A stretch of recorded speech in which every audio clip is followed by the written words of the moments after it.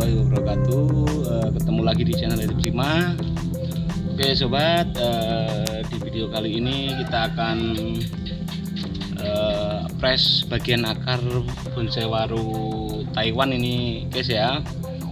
Ini kayaknya sudah mulai Apa itu waktunya kita, press akar-akarnya dan kita buat zigzag. Ini dia bahannya baru saya ini guys ini aku tanam juga sudah dapat uh, hampir dua tahun juga. Oke uh, kita belajar bareng guys ya. Uh, ini pun juga saya masih mencoba dan belajar. Semoga ke depannya sehat selalu. Ya uh, kondisi saat ini lagi habis hujan guys ya. Uh, musimnya mungkin dan alhamdulillah juga hujan adalah sebuah berkah. Oke? Okay? oke okay, lanjut kita coba cikidot ya oke sobat. Eh, ini dia penampakan warunya. Ya ini besaran mungkin eh, satu bahan dewasa sobat ya. Ini dulu sekitaran segini saya tanam Eh, dan ini juga saya dapat dari Mas Andong Jogja dulu guys ya. Alhamdulillah eh, dengan kesabaran sudah menghasilkan ya mungkin sekitar hampir seratusan cangkok-cangkokan guys ya. Eh, sebagian juga saya kasihkan teman-teman ini tinggi sudah sekitaran hampir 3 meter 3 meter lebih ini guys ya. Ini juga masih saya cangkok saya pecah. Langsung di tempatnya. Ini sudah menutup kambium-kambiumnya ya. ini juga sebagian juga saya potong sudah saya potong. Ya ini kita kurangi dulu daun-daunnya guys ya. Biar tidak uh, menghalangi pandangan kita ya uh, waru Taiwan juga lumayan bisa mengecil-mengecil daunnya guys ya. Dan mungkin di sudut-sudut apa itu? Uh, daun mudanya juga juga berwarna merah-merahan. Dan mungkin yang paling bisa mengecil lagi waru India guys ya. Waru India sangatlah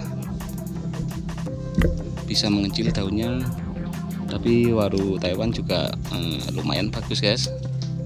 Untuk kita buat bonsai. Ya ini agar tidak sejajar eh, kita mungkin potong sebelah sini guys ya. Sebelah sini kita potong. Dan nanti ini buat fondasi uh, samping karena ini tangan-tangannya sudah sudah ada guys ya tinggal besarin lagi. Mungkin besok saya potong sini juga bisa. Ini masih bingung juga sementara saya saya potong sini juga bisa. Besok pakai yang mana mungkin uh, bisa cari solusi ke teman-teman dulu. Baiknya gimana? Ya, kalau akar mungkin uh, lebih baik kita zigzag guys ya. Jangan rata segini semua. Nanti uh, kelihatannya enggak natural guys. Ini kebetulan minta tolong sendirian sama Cak Boy Roxy. Ini bangun tidur cuacanya dingin. dingin enak sekali buat tidur Cak Boy ya.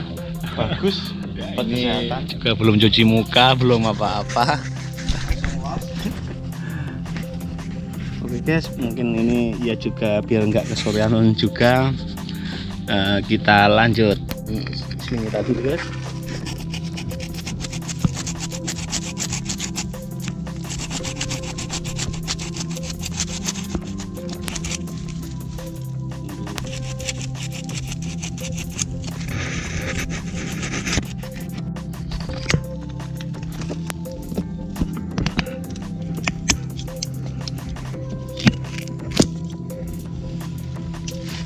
Ya sudah selesai guys. Kita rapikan dulu bekas gergaji tadi. Ini nanti akan muncul akar dengan sendirinya guys ya. Kita timbun nanti tipis-tipis. Ya kayaknya yang ini sudah selesai. Uh, kita pilih lagi biar kelihatan zigzag. Kita potong yang yang ini juga guys ya nanti sini buat kita buat pecahan dua gitu. Ini juga diperpendek juga nanti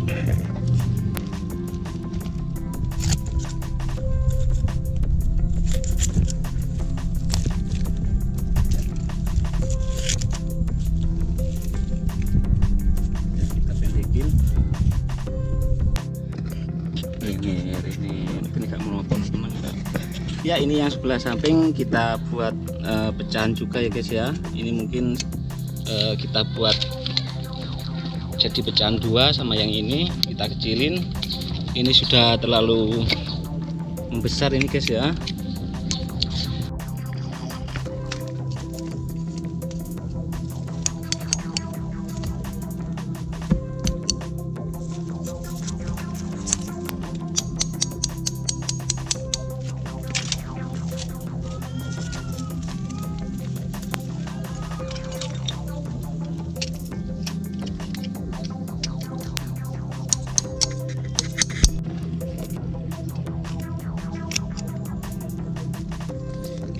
potong juga yang ini guys.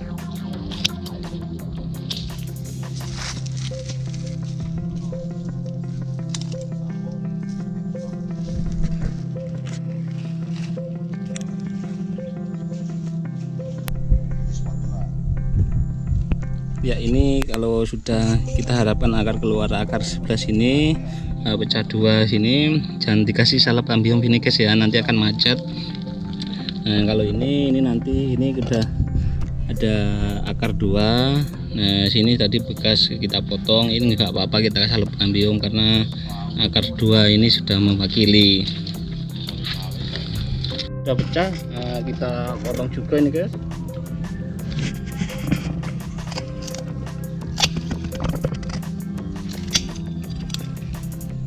Yang ini juga waktunya kita potong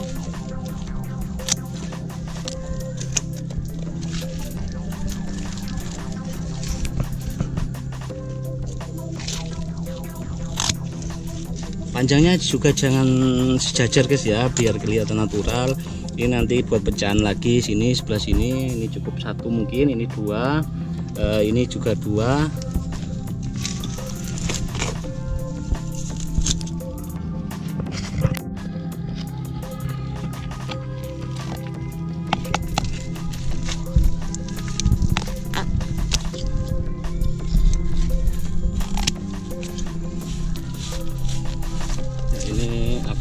besar ini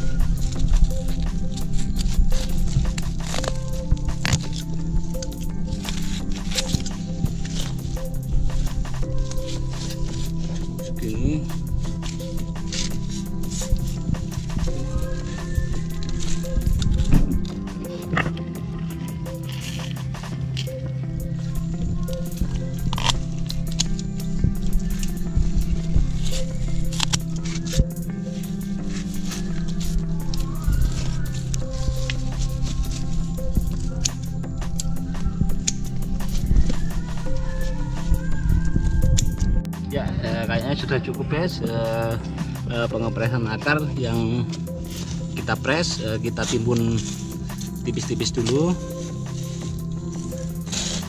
Akarnya tadi. Ya, jangan sampai dikasih salep, salep kambium guys ya. Nanti akan macet kalau dikasih salep kambium. Genteng guys ya biar tidak uh, rosot nanti eh, tanah yang kita timbun tadi. Ya, mungkin yang ini juga kita timbun juga.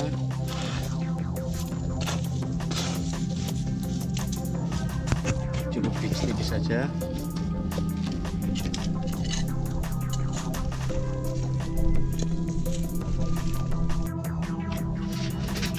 Oke sobat, eh, karena sudah sore dan ini sudah hampir maghrib cukup sekian dulu video dari kita guys ya Eh, semoga bermanfaat dan sama-sama belajar. Amin.